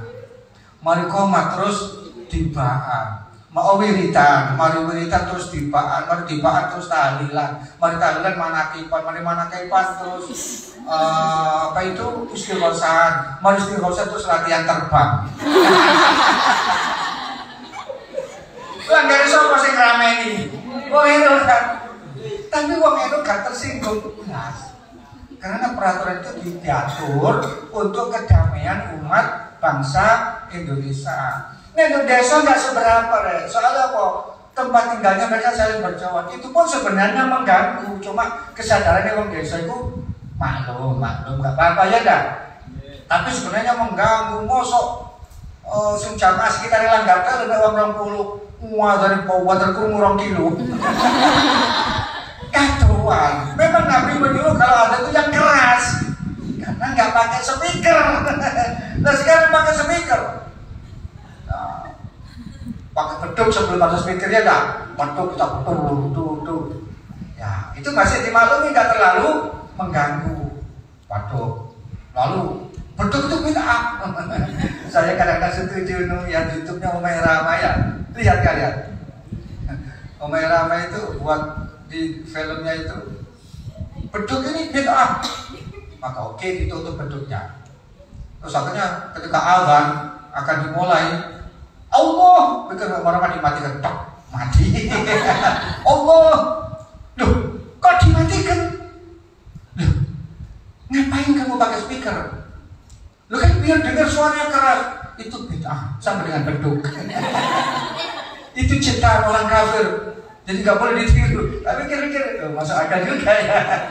Jadi jangan bicara soal bid'ah. Pakai beduk dibilang bid'ah itu kreativitas selama tidak bertentangan dengan hukum Islam. Anda bertentangan dengan Islam jangan, tapi kalau kreativitas yang membangun menuju kebaikan, kebaikan Islam namanya bid'ah hasanah. Muka percaya mana bid'ah hasanah? Kullu itu semua. Kullu bid'atin dolala. Lah kalau itu saya Umar tidak sesat. Nabi Muhammad tidak tahu terawih 20 rakaat, Nabi Umar 20 rakaat. Tak sesat kalian. Ternyata para sahabat setuju semua itu. Sedang Utsman ada dua kali sholat Jumat. Nabi cuma satu kali. Kenapa para sahabat setuju semua? Karena itu termasuk kreativitas sesuai dengan kebutuhan. Pernah saya di Surabaya, saya dulu imam masjid Jumat di sebuah rumah sakit. Nah, sudah azan pertama, kata takmirnya, takmirnya orang Muhammadiyah. Kok belum ada yang datang Pak ya? Kita sudah mau mulai khutbah. Makanya kita adakan adan kedua. Akhirnya dilakukan adan kedua betul. Setelah adan kedua baru jamaah dari rumah sakit pada keluar semua. Oh, jadi ternyata itu kebijaksanaan. Nah satu stok HP ya cukup ya enggak. Mau dua kali silahkan. Sayyidina Utsman tidak sesat karena itu kebijaksanaan pada saat itu. Lah NU pun begitu mencontoh di dalam berdakwah sesuai dengan kebijaksanaan yang ada pada saat itu. Sunan Gresik itu dulu korban beli sapi itu tidak boleh. Tidak boleh dilarang. Umat Islam kalau mau korban cukup kambing, dosa sapi karena apa? Masyarakat sekitarnya agama Hindu mengagung-agungkan sapi. Jadi masih di situ tasamuh, ya dah, toleransi. Nanti kalau kita nyembelih sapi menyakiti hati tetangga. Begitu Islam sudah menyebar, sekarang silahkan menyembelih sapi karena gak ada yang disakiti hati di masyarakat sekitarnya. Kalau luar negeri nggak dibahas, ya dah. Loh itu jadi kenapa melarang, kenapa memerintah sesuai dengan kebijaksanaan bil hikmati wal mau'izatil hasanah. Lo biar gak terjadi perbedaan pendapat terus. Ya saya langsung ngotot, mau ngeyel terus beda beda beda. Eh, kok ngeyel? Jangan-jangan kamu itu. Nah, ya ya. Jadi tertuduh Malia. Oh, kita semua sudah paham, sudah punya dalil supaya kita nggak terjadi. Kalau saya mau muayel, jangan-jangan kamu itu kan malah gitu Malia, ya dah. Malah tertuduh, provokator berarti supaya umat Islam pada. Nah, mana kita kembali kepada Rasulullah apa yang Rasulullah itu enak. Islam itu lebih enak, gak kaku. Sekarang yang mewajibkan cadar kan Imam Syafi'i, ya dah dibolongi motor gini. Tapi imam yang lain tidak wajib pakai cadar. Nah, maka itu bentuk toleransi yang tidak ada pertentangan. Apakah para sahabat Nabi dulu cadaran semua? Dan cadaran semua kalau tidak ada yang kenal. Satu sama lain tidak ada yang kenal, ya enggak? Ternyata banyak yang kenal itu. Jenggot. Bagus. Kita mencintai Nabi meniru jenggotnya Nabi. Ini kayak saya suruh meniru jenggotnya Nabi itu kapan? Oh yang tunggu cuma di sini tuh. Tidak tahu lima biji atau berapa ini. Yang sini nggak ada. Kumisnya pun cuma kayak serundeng begini. ya. Jadi bolehlah meniru sunnah karena kita cinta Nabi. Bukan karena tidak cinta Nabi. Bukan berarti Nabi cukur jenggotnya kemudian tidak mengikuti sunnah. Lalu sunnah Nabi masalah jenggot. Nabi itu juga rambutnya gondrong. Nabi itu gondrong sak pundak gini. Ya khusus rahu ala wasati dipotong rambut sak pundak tadi. Beliau itu rambutnya hitam, bergelombang kayak ombak air, tebal, kemudian dibelah jadi dua. Ya, terus kemudian disurbani. Orangnya orangnya uh, putih merona kemerah-merahan. Matanya hitam, bulunya bulu matanya melentik, bisa buat apa itu melentik ini alisnya alifil alfi mimil fami nuniyul haji. Ah hidungnya kayak alif linci nyucuk. Giginya kayak biji mentimun. Ini kalau senyum semua pada pepleh wanita-wanita. Mereka ngantri kepingin jadi istrinya. Nah ternyata yang dipilih rondo-rondo. Karena nikahnya Nabi bukan karena nafsu tapi kepentingan dak itu kalau mau mengikuti sunnah Nabi Sunnah Nabi punya istri empat harus poligami. Maka umat Islam yang menentang poligami berarti menentang sunnah Nabi. Malah ngomong saya itu kok itu kebelet? Memang Nabi menikah lebih dari malah Nabi itu istrinya 12 yang tiga dicerai. Istrinya Nabi itu 9 yang masih tetap menjadi hubungan suami istri. Ingat, turunnya Al-Quran matna wasulasa warubah dua tiga empat. Berarti harus punya istri sembilan pak. Masna wah wah kan wah masna dua. Wasulasa dan tiga berapa? Lima. Warubah dan empat berapa? Nah, maka di Madura ada orang menikah sampai sembilan. Karena mengikuti Al-Quran ternyata karena tidak paham bahasa Arab. Dalam bahasa Arab, nek bilangan ditambah wa bisa dijumlah. Tapi kalau bukan bilangan, dijumlah gak bisa menjadi wa. Nek isnani wa, salasa wa, arba'ah itu baru dijumlah jadi sembilan. Kalau masna, wa sulasa, wa ruba'ah itu bukan adat. Jadi nggak boleh dibilang jumlah harus diartikan au dua atau tiga atau empat. Dan ingat asal pelulunya itu ayat turun untuk mengurangi jumlah istri, bukan untuk menambah istri. Dulu zaman Nabi Abu Jahal itu istrinya 100 Para sahabat-sahabat juga banyak yang istrinya puluhan Banyak maka Allah hanya mengizinkan empat. Maka masna wasulasa wakruba yang punya istri banyak dikurangi dicerai. Gitu. Kenapa kalau istrinya banyak? Karena kaya raya. Maka dibatasi jadi ayat itu turun untuk mengurangi bukan untuk menambah. Sekarang kalau istrinya satu yang belajar kewalahan saya suruh tanda tangan menyetujui nikah lagi. Kualah awal dewe itu kewalahan belajar salah medit bisa Nek belanja nek selalu ewu. Minta dimasakno ayam kari. Ayam sak kilo itu harganya 80 ribu aku nek belanja tiap pagi itu. Kan duit selawe, sun masalah kare. Mau saya takkan susuwe lagi. Terus sudah kalau saya pengen jalur rapi mana minta diizinkan. Ya, maka sekarang itu kata Allah Wasna wasna sorba wa in khiftum alla ta'dilu. Nah kamu takut tidak bisa berbuat adil Fawahida satu saja. Ayat yang lain walan ta'dilu Walau kharastum Kalian tidak kalian bisa berbuat adil Walaupun kepingin berbuat adil Tetap tidak adil. Mesti yang paling ayu lu disenangi Mesti itu. Mbok lebih seneng nih mana mbok. Mesti.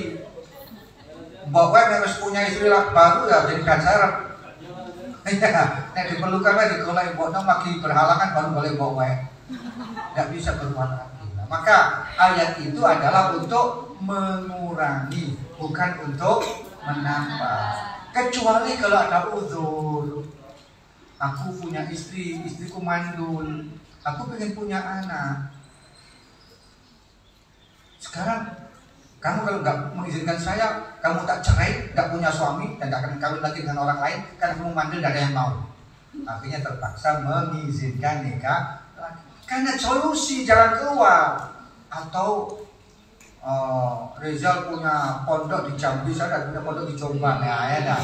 Nah, maka mungkin punya istri dua, punya Jombang dan punya Itu karena kepentingan dakwah, bukan kepentingan yang lain. Kalau itu baru itu sunnah Rasulullah Sallallahu Alaihi Ingat Rasulullah ketika punya istri satu Sayyidah Khadijah sampai 25 tahun tidak menikah lagi. Kecuali Sayyidah Khadijah wafat baru nikah lagi. Jangan kalau ingin mengikut sunnah Nabi pantai kalau di istri pertama. iya dong. Sunnah Nabi kan meninggal dulu istri yang pertama baru boleh nikah. Jangan sunnah-sunnah dipilih enak itu digolek seneng nom nah, kan jumlah wanita itu lebih banyak daripada laki-laki. Laki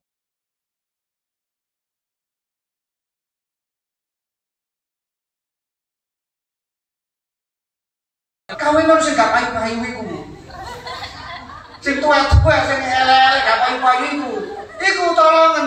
Sing sing nolong golek sing ayu-ayu. Goblok sing ayu kok gelem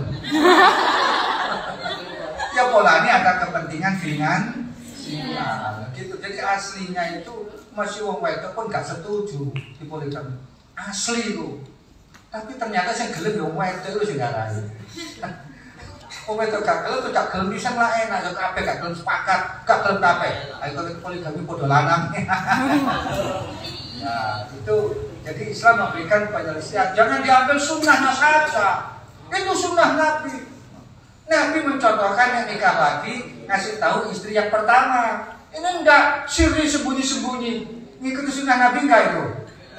Ya yukhalifu sunnah Nabi malah mengingkari sunnah Nabi. Jadi Nabi Muhammad itu kalau mau nikah lagi, istri yang ada dikasih tahu. Aku menikah.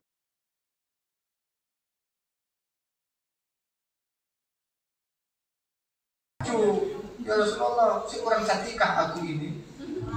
Kau paling cantik wahai Aisyah. Tapi engkau kenapa menikah lagi? Ini perintah Allah. Karena tujuan menikah Sayyidah Zainab bintu Jakas adalah untuk menghapuskan tabani. Untuk menghapuskan bahwa hukum adopsi itu adalah tidak seperti ahli waris. Anak angkat ya tetap orang asing, bukan muhrim. Buktinya, Sayyidah Zainab itu mantan istrinya Sayyidah Zaid, anak angkat Nabi. Maka mantan istri anak angkat dinikahi oleh Nabi untuk menghapuskan bahwa anak angkat itu hukumnya bukan anak sendiri. Menegaskan itu. Sebab kalau tidak menikah, nanti orang masih menafsiri, menafsiri, menafsiri.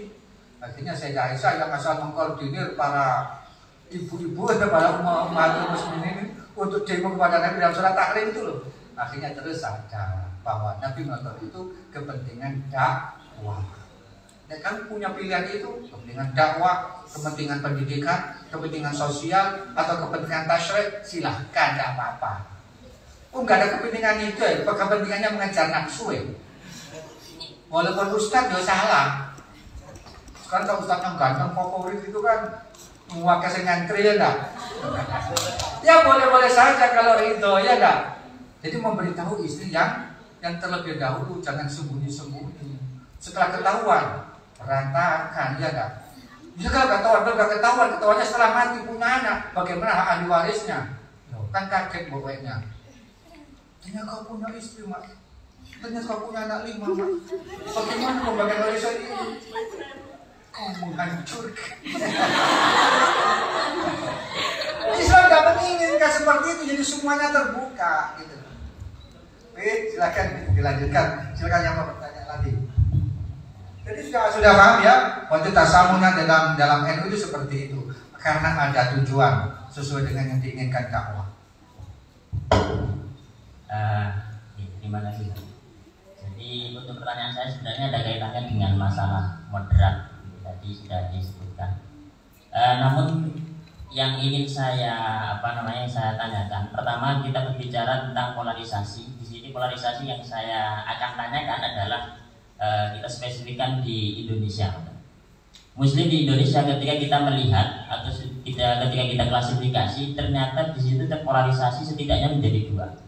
Yang pertama Muslim eh, liberal, kemudian yang kedua Salafi. Nah Muslim liberal ini didiagnosa bahwasanya Muslim ini berafiliasi dengan Barat, sehingga ideologi pemikirannya menjadi liberal seperti ini. Yang mana itu me, apa namanya mengedepankan nalar nalar irfani. Lalu kemudian yang Salafi itu juga terindikasi bahwasanya eh, apa ikut berafiliasi terhadap timur atau dalam hal ini adalah Arab. Sehingga nalar yang digunakan itu adalah nalar burhani. Lantas eh, di Indonesia sendiri kita kaum pesantren khususnya itu lalu kemudian menjawab tantangan dari dua ideologi besar ini yang mempengaruhi Muslim di Indonesia sejak lama begitu dengan memunculkan kembali statement Islam Nusantara.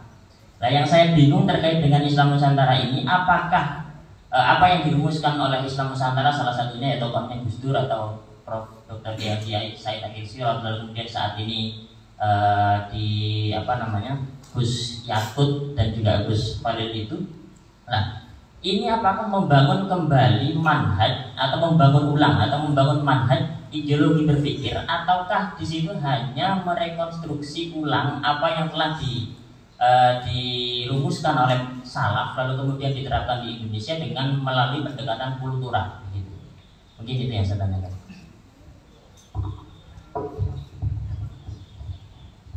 Memang itu yang dijadikan alasan mereka untuk menyerang NU. Dianggap NU ini drewer. NU ini kok menjadikan Islam Nusantara memang ini Islamnya orang Indonesia, nggak sama dengan Islam yang lain. Memang saya pun juga sering di saat NU mengumumkan Islam Nusantara itu saya dapat telepon dari Mesir, telepon dari Malaysia, Singapura, menanyakan apa itu Indonesia? Kok ada Islam Nusantara? Itu kan berarti pengkotaan dia bilang. Pengkotaan. Islam itu menembus batas ya akhi. Teman saya di Singapura. You know Islam is so kata orang di Singapura. Islam itu menembus perbatasan. Walaupun Indonesia, batasnya negara Indonesia, itu tidak ter, tidak terbatas Islam. Menembus Islam itu adalah internasional satu yang diajarkan oleh Nabi Muhammad SAW. Buahnya saya dapat telepon teman-teman karena teman-teman saya tahu saya orang NU pada saat itu. Ya akhirnya saya jawab bahwa you jangan salah paham. Begitulah jika Islam mengembang seluruh dunia. Maka di sana muncullah tradisi-tradisi yang ada di wilayah itu lalu diislamkan. Maka jadilah itu menjadi Islam khas. Nah, Islam khas yang tidak keluar dari ajaran Nabi Muhammad SAW cuma jadi tadi mengisi budaya-budaya yang ada. Jadi NU yang dipelopori Gus Dur menciptakan Islam Nusantara itu tujuannya adalah membumikan Islam di Indonesia sampai kepada budayanya pun harus diislamkan. Jadi membumikan Islam. Dulu di tahun 90 saya pernah mengundang Gus Dur ke Ampel itu. Itu sudah pernah bicarakan ketika itu Gus Dur masih jadi apa ya belum belum jadi ketua PBNU sampai ceramah itu tentang Pak Harto bisa-bisa gitu. Saya disuruh beli kaset. Itu cepat tukar kaset rakam kenapa Gus? Kok baru tak rungok nih? Aku mau ngomong apa berarti keliru. Karena sedang diawasi oleh Pak Harto pada saat itu. Di Grand Kalimas Ampel tadi ya. Itu itu saya sempat menanyakan macam-macam kayak Gus Dur menyamakan assalamualaikum dengan good morning apa itu ternyata punya tujuan-tujuan tertentu. Nah, jawabannya akan jawab sini nanti panjang lagi gitu ya. Jadi beliau itu ingin membumikan Islam sehingga menjadi Islam Nusantara bukan berarti Islamnya orang Indonesia tapi Nusantara diislamkan. Tujuannya begitu. Ke- Kegiatan apa saja kita berusaha untuk mengislamkan. Jadi Islam itu tidak kaku juga tidak nyelewer. Ya, tidak terlalu ekstrim tapi juga tidak liberal. Islam itu moderat. Ya, Jadinya begitu. Jadi di tengah-tengah.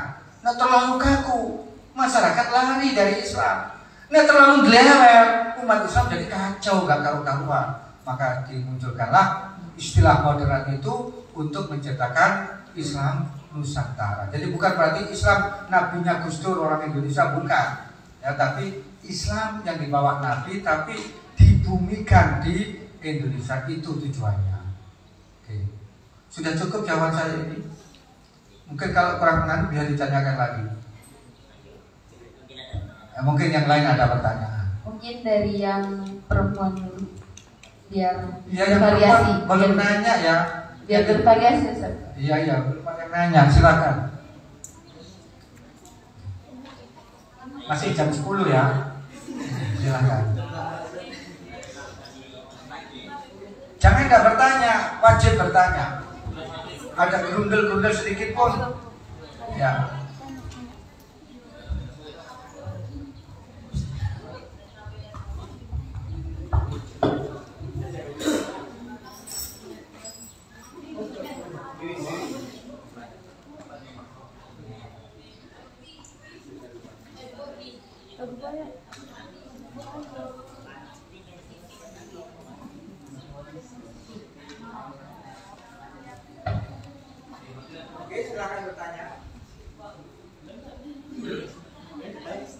Kalau yang perempuan nggak ada, bisa yang belakang sana. Oke, silakan.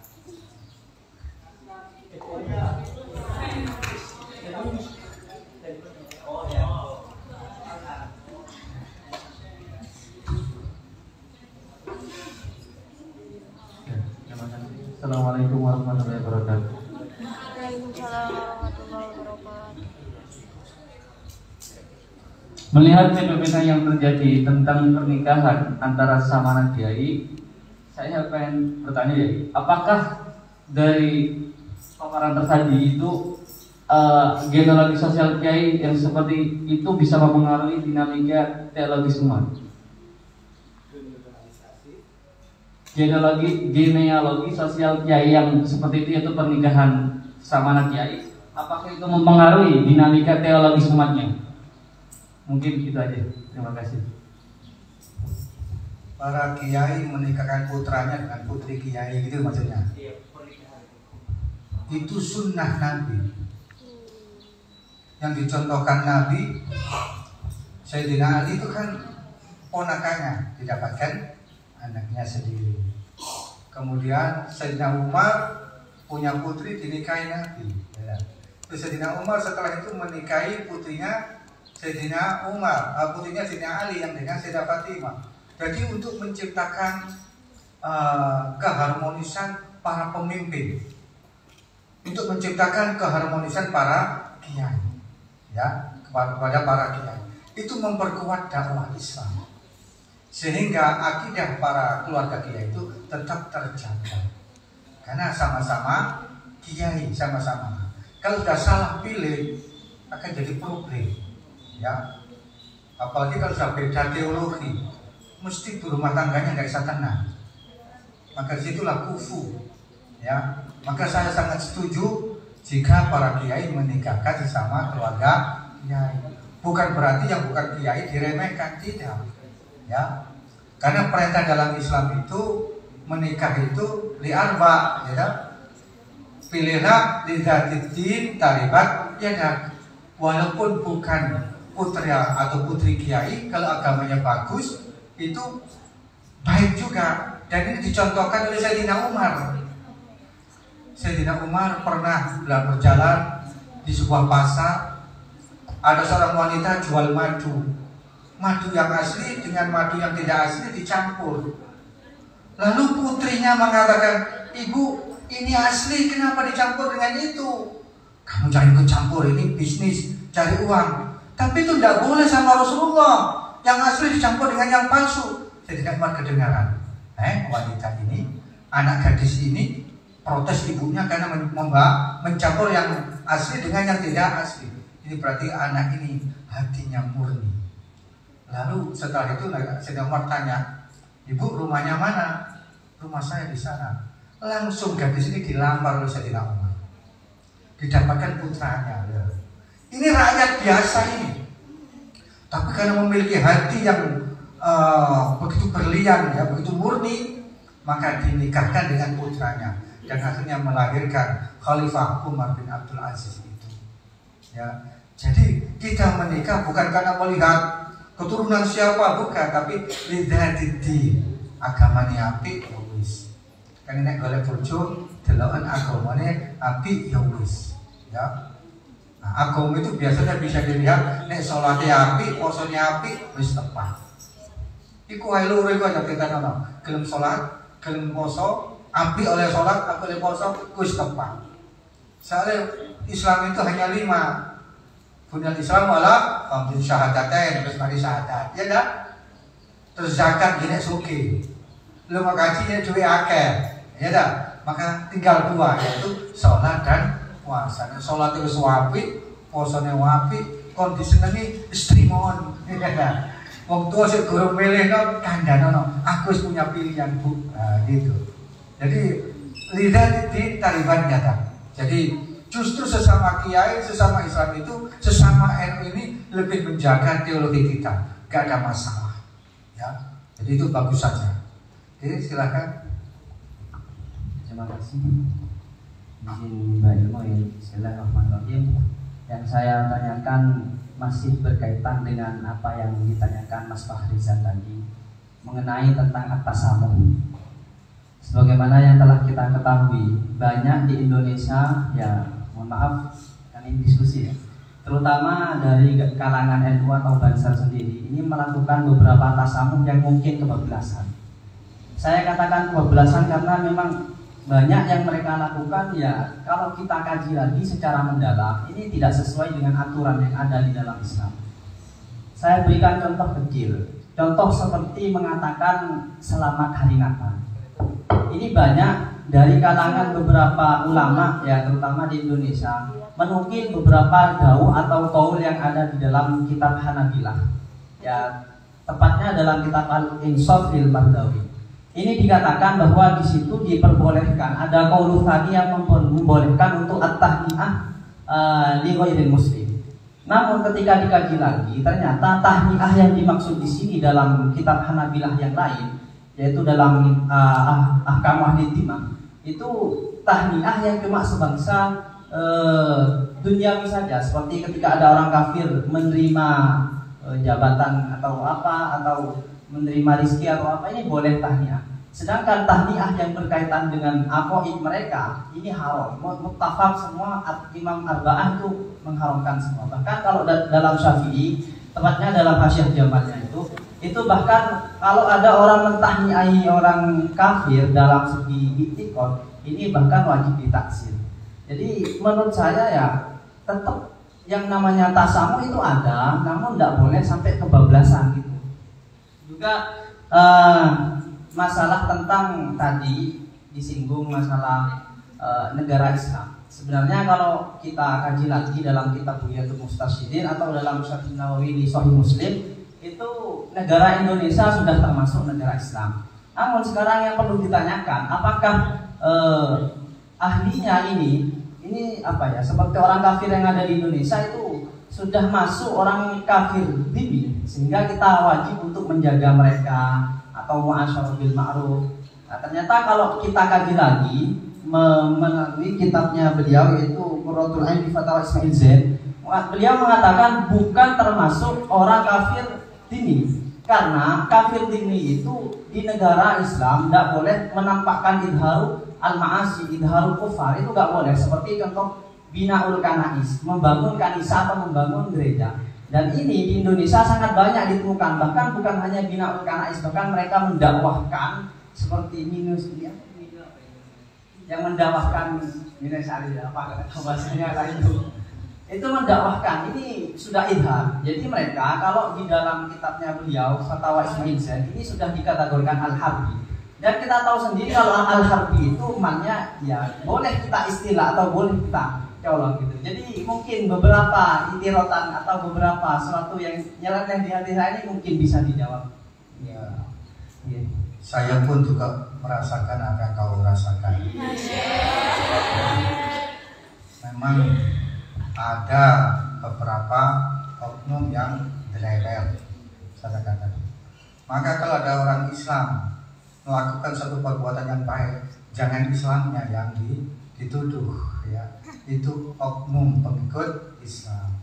Demikian juga orang NU ada banser kadang-kadang saya melihat sendiri pernah itu di alun-alun Jombang situ waktunya sholat zuhur banser tengok-tengok gak sholat. Itu oknum ya bukan berarti oh NU itu bansernya nggak pernah sholat. Oh, kata-kata kamu terlalu lu terlalu umum ya. Jangan dipukul rata. Memang ada personil-personil yang seperti itu. Kadang-kadang ya mungkin karena capek mungkin karena malas ya akhirnya terus tidak sholat. Kita nggak bisa menyalahkan seperti itu. Memang eh, masalah toleransi itu kadang-kadang janggal kita melihat prakteknya itu. Karena kadang-kadang ada kebijaksanaan yang tidak dibil hikmah tadi karena kebijaksanaan. Contoh di Indonesia apakah kafir yang ada itu sampai tergolong kafir dini atau harbi? Menurut saya ada yang dini ada yang harbi. Mereka tidak menyerang secara fisik tapi menyerang ekonomi. Harbi juga itu. Menyerang ekonomi kita memboikot ekonomi kita. Pokoknya berani melakukan perlawanan dengan cara apa pun itu kafir harbi nah, yang namanya kafir zimmi itu dia dilindungi karena tidak mengganggu umat Islam. Itu saja. Ya. Nah untuk Indonesia NU harus bersikap bijaksana karena Indonesia ini terdiri dari berbagai macam suku bangsa dan agama dan jumlah mereka tidak sedikit.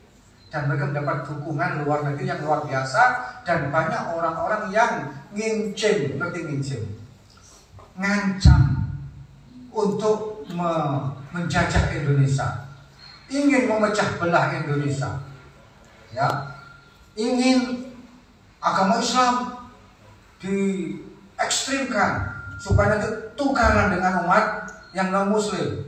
Lalu negara Indonesia yang terdiri daripada beberapa pulau ini, Balad Arkhabil, negara yang terdiri dari beberapa pulau ini nanti akan muncul Kalimantan negara Islam, Jawa negara Islam, Bali negara Hindu. Itu mereka inginkan begitu. Maka terpaksa Al-Daruratu tubihul mahdurat. Darurat itu boleh dilakukan untuk karena ada kepentingan yang menyelamatkan. Sekarang kalau Islam NU tidak bersikap begitu, pasti Indonesia tidak lama lagi akan pecah menjadi 10 negara. Maka sekarang menjadi semboyan NKRI harga mati. Seolah-olah NKRI lebih penting daripada Islam kan gitu toh. Seolah-olah itu kebijaksanaan. Kayak Pancasila, zaman kita Islam merdeka, waktu Indonesia merdeka, ulama-ulama itu akan menciptakan negara Islam di Indonesia. Tapi setelah dipikir lagi, ini dijadikan negara Islam, mesti perang lagi antar rakyat Indonesia, Islam dengan non-Islam. Akhirnya diciptakanlah Undang-Undang Pancasila yang itu loh, yang mendamaikan, yang toleransinya untuk kedamaian negara Indonesia ini. Jadi semua yang dilakukan NU itu untuk kedamaian. Karena Islam itu tujuan utamanya adalah menciptakan kedamaian. Ingat ya, menciptakan kedamaian. Nabi datang ke Madinah menciptakan kedamaian. Allah mengutus para rasul menciptakan kedamaian.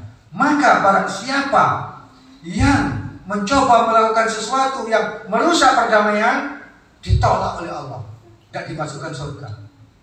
Buktinya ada salah seorang sahabat bertanya, ya Rasulullah tangga saya ini masya Allah jamaahnya bagus, sholatnya masya Allah, puasanya, sholat malamnya, tapi Rasulullah ini ngomong nyelkit.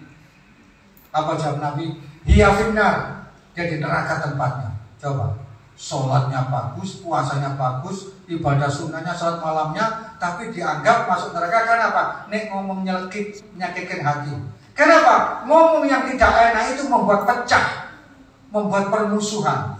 Nah, di sini loh, Islam itu sangat mengutamakan al-ukhuwah, persaudaraan. Mempertimbangkan ini akhirnya NU memilih jalan bijaksana jangan sampai meletus perang di Indonesia ini maka harus diciptakan moderat, toleran dan lain-lain itu dan semuanya mengacu kepada tuntunan Nabi Muhammad Shallallahu Alaihi Wasallam sampai terpaksa menjaga gereja itu kan terpaksa sebenarnya karena mengendalikan jangan sampai umat Islam ini ada seseorang yang nongol atas nama Islam kemudian menyerang Kristen sehingga yang lain nanti dari luar negeri pada berdatangan. Ini kan jadinya kacau, ya. Nah, jadi memang kaidah-kaidah yang disebutkan dalam kedua tadi betul, memang ada. Tapi Islam, Islam yang dibawa oleh dakwah NU ini adalah uh, ingin menciptakan kedamaian, tidak menginginkan peperangan. Nabi Muhammad pun ketika berperang, beliau tidak pernah melakukan hal-hal yang kasar, dilarang membunuh orang tua, dilarang membunuh orang perempuan, dilarang merusak tanaman, dilarang menghancurkan bangunan. Karena Islam ingin damai. Cuma mereka menunjukkan ini loh dakwah Islam, ingin menyelamatkan. Lah mereka yang tidak melawan, yang tidak ada perang. Mereka yang gengsi, macam-macam kau. Akhirnya melakukan penyerangan. Islam membela diri. Islam tidak pernah menyerang duluan, tapi membela diri. Jadi karena apa? Menginginkan kedamaian. Jadi NU berprinsip menciptakan kedamaian, kerukunan dan kesatuan sehingga harus diambil kebijaksanaan-kebijaksanaan yang kadang-kadang kontras ya.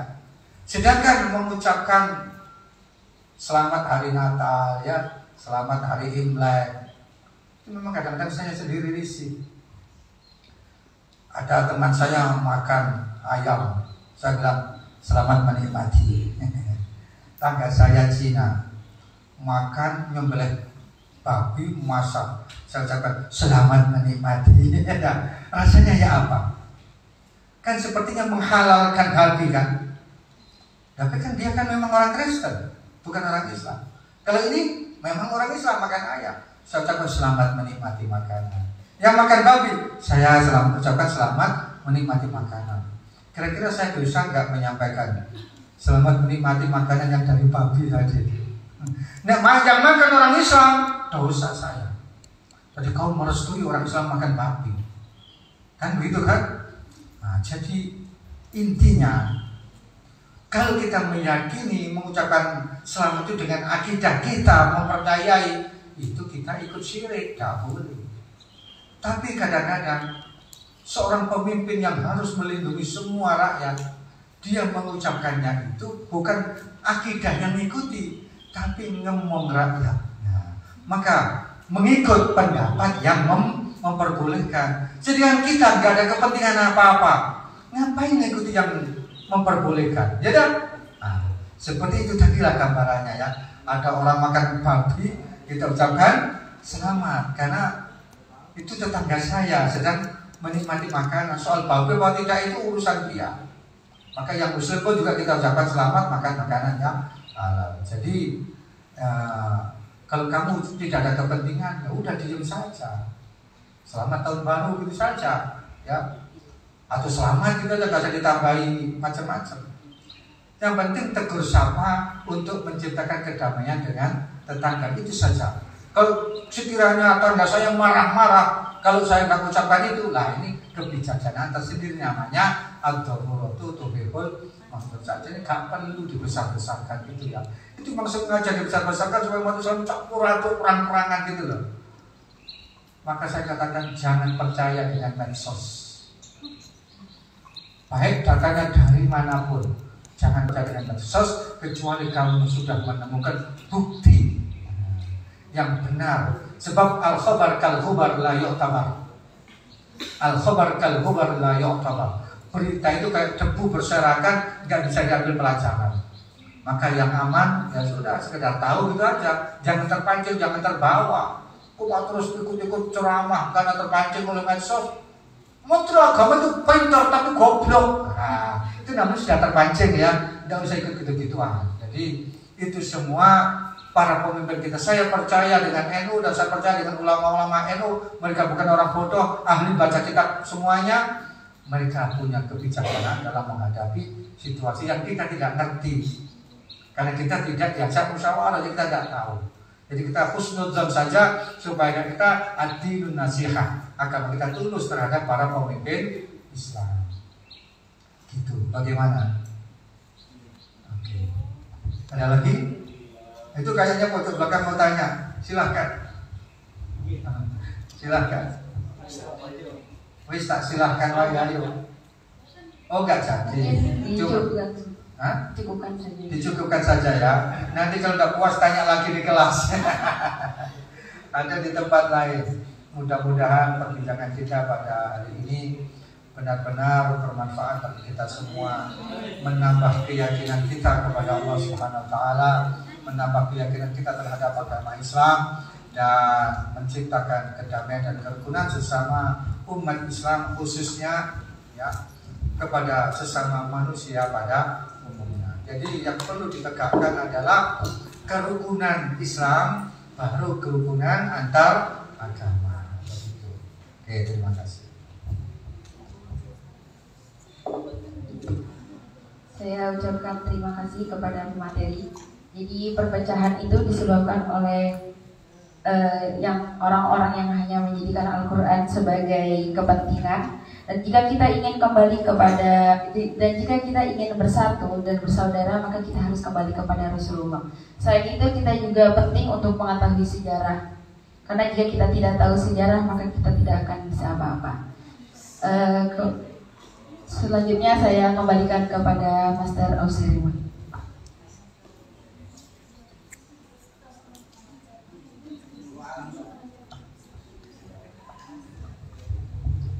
Bismillahirrahmanirrahim. Alhamdulillahirabbil. Allahumma shalli ala sayyidina Muhammadin wa ala ali sayyidina Muhammad. Allahumma ja'alna wa ja'al afrada ahlina wa dhurriyyatina qibatan min jannatina min ibadika as-salihin al-muslihin al-mukhlisin al-muttaqin. Allahumma ja'alna wa iyyahum min ahli al-ilmi wa ahli al-khair wa la taj'alna wa iyyahum min ahli al-syarri wa ahli al-dhair. Allahumma ja'alna wa iyyahum min ibadika as-su'ada fid dunya wal akhirah. ولا تجعلنا وإياهم من عبادك الأشقياء برحمتك يا أرحم الراحمين. اللهم اجعلنا وإياهم دوما في خفتك وعصمتك وحسنك وامانك اللهم انك خير الحافظ وانت ارحم الراحمين اللهم اجعل معهدنا هذا معهدا مباركا نافعا يطمئن من يتعلم فيه ويعلم فيه ويعمل فيه ويخدم فيه وارزق اهله من الثمرات الطيبات برحمتك يا ارحم الراحمين اللهم اغفر لنا ولوالدينا وارحمهم كما ربونا صغارا ربنا اغفر لنا ولاخواننا الذين سبقونا بالايمان ولا تجعل في قلوبنا غلا للذين آمنوا. ربنا إنك رؤوف رحيم. اللهم إنا استودعناك مما علمتنا فارده إلينا عند حاجتنا إليه. ربنا آتنا في الدنيا حسنة وفي الآخرة حسنة وقنا عذاب النار وأدخلنا الجنة مع الأبرار. يا عزيز يا غفار يا رب العالمين. وصلى الله على سيدنا محمد وعلى آله وصحبه وبارك وسلم. والحمد لله رب العالمين. الفاتحة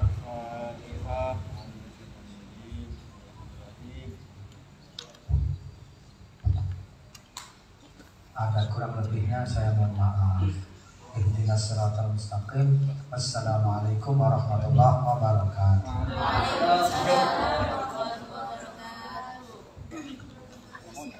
Enggak, enggak mau. Enggak, enggak mau, enggak. Acara yang terakhir penyerahan cenderamata yang akan diserahkan oleh Ketua Dema kepada Saudara Al Farizal kami persilahkan.